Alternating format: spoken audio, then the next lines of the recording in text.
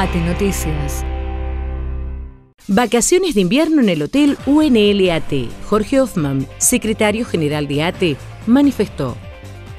Bueno, se acercan las vacaciones de invierno y volvemos a reeditar la propuesta de ATE hacia sus afiliados que hicimos en el verano, es decir, 300 pesos por día por afiliado con desayuno y cena base doble.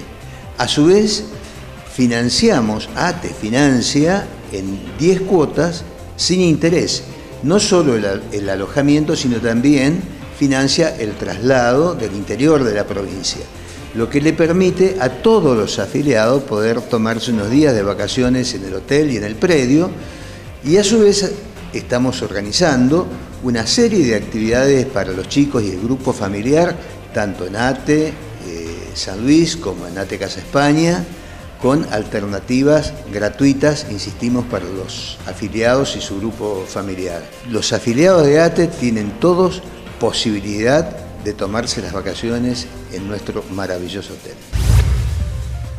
Encuentro Nacional de Enfermería en Salud Mental. Se realizará los días 3 y 4 de agosto en ATECAS, España, y está destinado a enfermeras y enfermeros de todos los niveles de atención del sistema de salud. Libre y gratuito, y organizado por ATE, con el auspicio de la Dirección de Salud Mental del Ministerio de Salud de la provincia.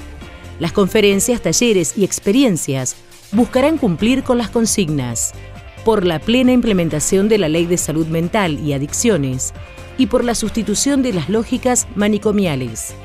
La inscripción se realizará en www.ate.org.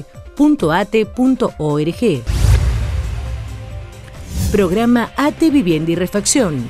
ATE sortea cinco viviendas y cinco líneas de refacción por semana para facilitar el derecho a una vivienda digna.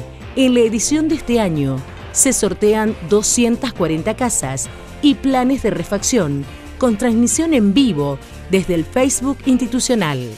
La inscripción al programa es gratuita y está destinado a afiliados titulares comprendidos en la Ley 10.052 de paritarias de la Administración Central.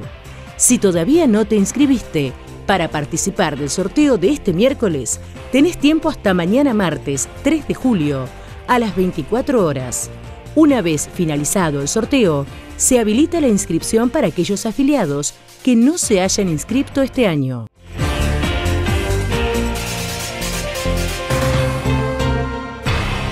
AT Noticias